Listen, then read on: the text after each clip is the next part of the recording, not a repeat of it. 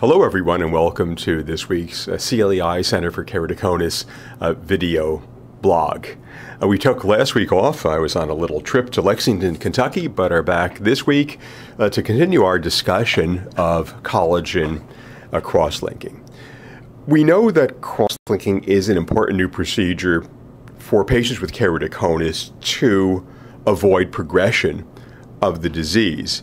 What we want to talk about today is who should get cross linking. That is, do we know who does better and who may not be a good candidate uh, for the procedure?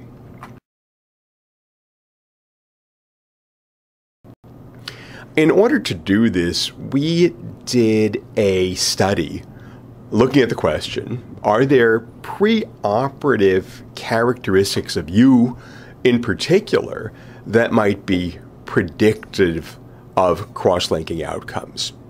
Uh, for this, we did a statistical analysis and looked at individual characteristics, including gender, age, your vision, uh, the steepness of the keratoconic cone, where the cone is, corneal thickness, uh, and sought to see if these related to outcomes of change in Kmax, or the height of the keratoconic cone, and in the best vision uh, that, that you have.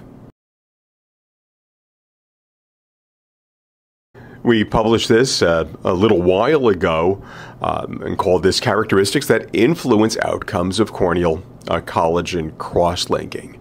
Implications for patient selection, that is, who should get the procedure and who shouldn't. In our past talks, we've seen that cross-linking is a safe and effective procedure to decrease progression of keratoconus. On average, we found a generalized flattening of the keratoconic cone by about one and a half diopters, a diopter being a measurement of the corneal height. If we look into this more carefully, however, looking at the bar graph uh, up top on, on this slide, what we find is that most patients remain stable. 31% actually improve the height of the keratoconic cone substantially, and 3.5% have continued uh, steepening. The main finding of our study was that patients who have a worse cone initially had a greater tendency to improve more with cross-linking. Uh, that is, if you have a cone that is steep and high, there's a greater chance that that cone is going to flatten using the cross-linking technique uh, compared uh, to those uh, keratoconic corneas that are more regular and less progressed. Now, we wanted to look into this more carefully to see if we could find any patients who would have an actually worse outcome. Those patients who would not be stabilized, or those patients who might have uh, side effects or adverse uh, events after uh, the procedure. So we looked at cones to see if there was only a little bit of steepening, and we did not find any significant predictors of procedure a failure. So what this means is that if you have progressive keratoconus, the likelihood that your KC will be stabilized is similar amongst patients. However, those patients who are worse to start tend to get a somewhat more robust improvement in their corneal topography and corneal height. Uh, the next thing we looked at were changes in glasses corrected vision, or BSCVA, which stands for Best Spectacle Corrected Visual Acuity. If you remember from our last talk, on average, there is a one line on the reading chart improvement after cross-linking. But again, if we look at this on an individual basis, what we actually see is that most patients remain stable 22% have an improvement in their vision of two lines or more on the visual acuity chart, and 3.5% of patients lose two lines uh, on the visual acuity chart. The only preoperative predictor that we could find of improvement in vision was that patients who had worse vision, that is, vision 2040 or worse beforehand, were about six times more likely to improve their vision uh, afterwards. So almost half of the patients worse than 2040 improved by two or more lines on the chart. Whereas if you started with better vision, uh, typically you would remain stable but not necessarily uh, improve. We wanted to look carefully at patients who might have a bad effect from cross-linking and might lose vision.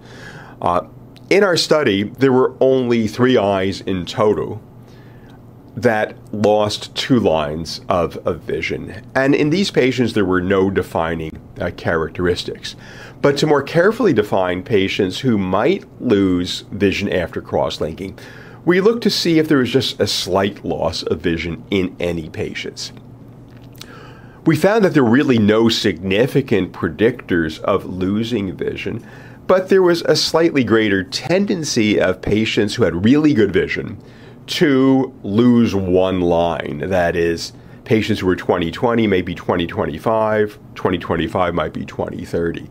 So 15% of patients out of 53 who were better than 2040 to start, who had really good vision, had a slight diminishment, whereas only 8% who were worse had a slight uh, diminishment. So the take home message here is number one, those patients who have progressive keratoconus likely should undergo cross-linking to stabilize the keratoconic uh, progression. And we found no indicators that would suggest that those patients are not good candidates for uh, the procedure with the goal of stabilizing progression.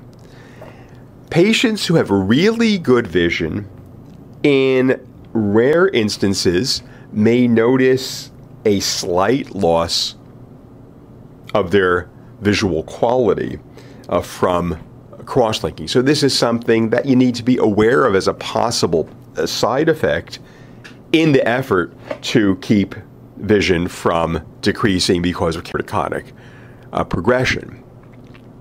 Some patients indeed will get an improvement in their corneal topography, and these tend to be patients who have worse keratoconus to begin with. But remember again, the goal of cross-linking is to decrease keratoconic progression. Improvement in the actual keratoconus is something that we do find in some patients, but not something that we necessarily expect with the cross-linking uh, procedure. So we continue to work on developing what we call a treatment algorithm for other doctors to really decide on the proper treatment for each individual uh, keratoconus uh, patient. And certainly as we learn more, we'll continue uh, to update you.